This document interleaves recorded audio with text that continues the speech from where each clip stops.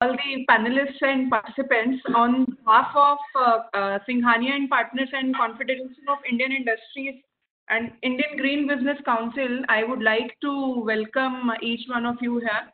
Uh, thank you for joining in, and we look forward to an interactive session with you. I would like to welcome Captain V.J. Pushpakumar, who will be delivering the welcome remarks for the session. So before we begin, I would like to introduce uh, Captain Pushpakumar. He is the founder of Indian Institute of Logistics and Good Ocean Maritime Group. He had an illustrious career spanning almost 30 years in marine and was made captain of the vessel just after seven years of experience in sailing. He has visited close to 50 countries and sailed over 500 ports globally. As on date, Indian Institute of Logistics, which was founded by him, has trained and placed over 8,000 uh, logistics professionals pan-India and in international markets. He has also been conferred with Education Leadership Award in 2015 for his outstanding contributions to logistics training and education. Uh, uh, we are delighted to have you with us, Captain Pushpakumar. Over to you. Thank you. Thank you, Khushbu. I hope you guys can hear me out. If somebody can confirm on that. Yeah, thank you. Thank you. Now, uh, I must first uh, welcome the torchbearer behind all this, uh, both uh, Singhania & Partners and CII Deputy Director, Sridevi. CII, all of you have taken a lot of effort last couple of weeks in initiating this program. I think before I go into the panelists, it's very surprising when I said there are 100 guys waiting there, all the participants eagerly to hear the luminaries from the legal fraternity, legal industry. And uh, at 3 P.M. after the lunch, uh, welcoming you all is a major task for me now. Uh, the first and foremost is we have a huge personality here whom we need to welcome. Let me start to call him CSR, because all of us know CSR means corporate social responsibility. But I'm going to introduce a different CSR to you today. That is uh, Sri Sekhar Reddy Garu. Reddy Garu, namaskaram. Uh, Reddy Garu has an illustrious career, and he's basically an engineer, got into real estate and construction industry. Hello.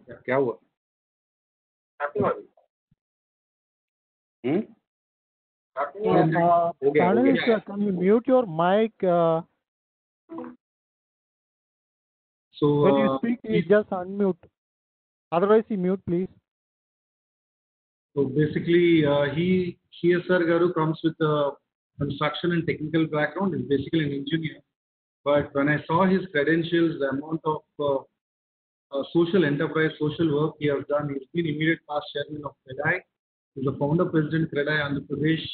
He's also founder director of National Skill Development Corporation, and he's been founding member of uh, many skill sectors like uh, plumbing, construction, et cetera.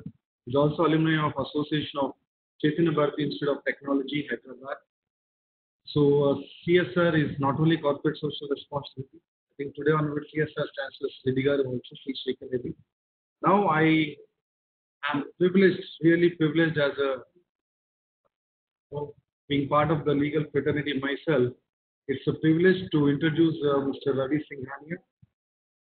We are in 2020, and you are going to now speak to three brilliant lawyers uh, who have spent a lot of uh, years in legal profession.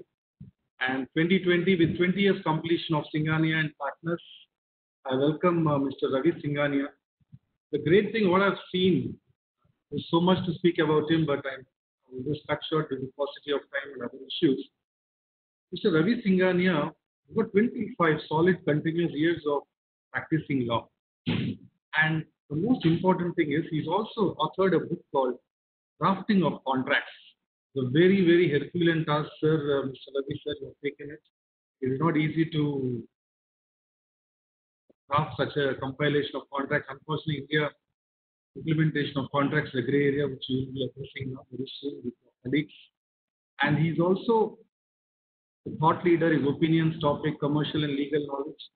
Many, many companies have taken advantage of his intellectual property and his relentless uh, practicing law last 25 years. So after 20 years, today in 2020, during this COVID-19 situation, he and his team, uh, next member of his team, let me also welcome Mr. Shambhu Sharan. The one great thing about uh, this panelist I can see, he's a specialist in writ petitions and recovery suits, uh, dealership disputes and bank guarantee disputes and dispute resolution and many, many things. And he's also, I think his intellectual property has also been utilized by many big MNCs like Tata uh, Wimberley Ellison Tong, UK, Reckitt Venture, Construction Limited, Transferring Engineering and Construction, which is a great company, I guess. Yeah. And Folland Fiat India Limited.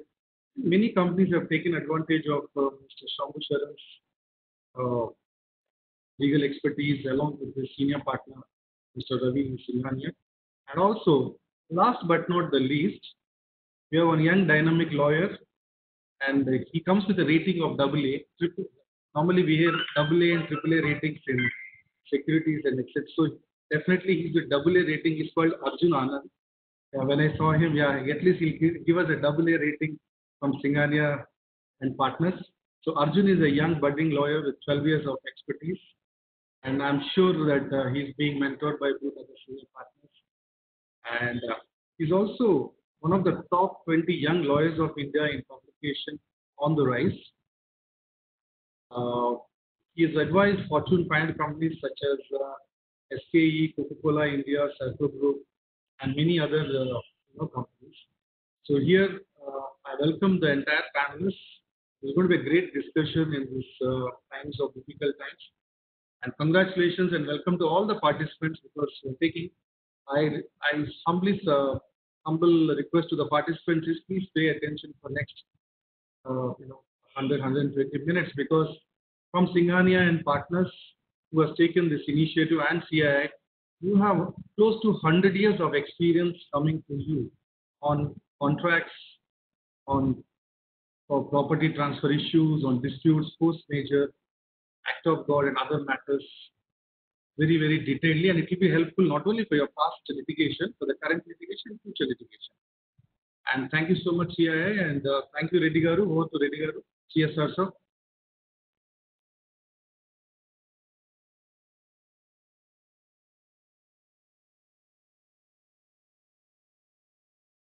Yeah, I welcome uh, CSR, sir, Reddy Garu to take over from me.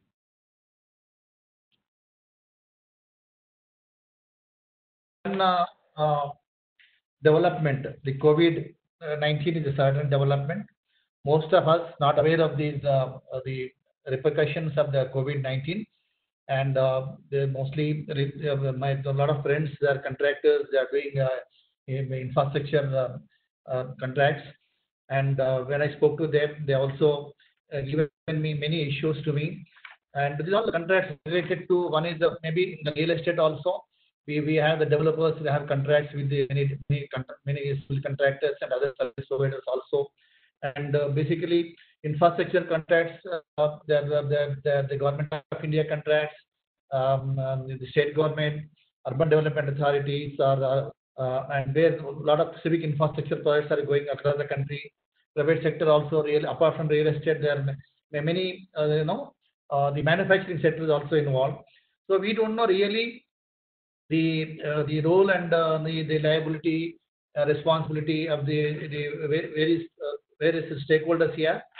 Um, um after this COVID has come in, the force majeure, some may, may most of them may not have this force majeure clause, and if at all they have some clause like uh, um, what you call act of God, whether this uh, force majeure is applicable or not. Uh, maybe we are going to hear from the, our experts See, uh, some of the my friends, they express that there is now for real estate there is a regulatory authority.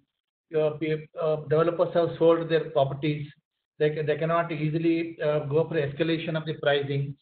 Uh, then the permissions is again the issue because now most of the, the migrant labor has, has uh, gone back to their native states and uh, material also the suppliers they are coming out with revised quotation they are even for example cement they have escalated price by 40 to 50 percent. So may, maybe other suppliers also will come like that. Labor issue, one is uh, they may demand more and also because of the shortage of labor, the projects may delay. So there will be going to a lot of interest burden. So how this, uh, we are going to address this and also the contractors from the, the sector also between the developers and contractor, what exactly is going to be the revised arrangements or the same thing will continue. We have to, uh, um, uh, I think these are the questions uh, to the, the, the, the experts. And uh, when I spoke to these, uh, the uh, national, uh, the highway and this toll contractors, they were expressed, all of a sudden, because of COVID, they have stopped the toll collection. So one is maybe the, during the COVID period, they may extend. Uh, uh, the, what about the interest liability on the entire project cost? How they are going to compensate that interest? Similarly, wherever the contractors have taken mobilization, mobilization advance, so their contracts are delayed. And because of the, the raw material cost and uh, the uh, availability, non-availability of the uh, 100% labor also, the contracts are going to be delayed. Um,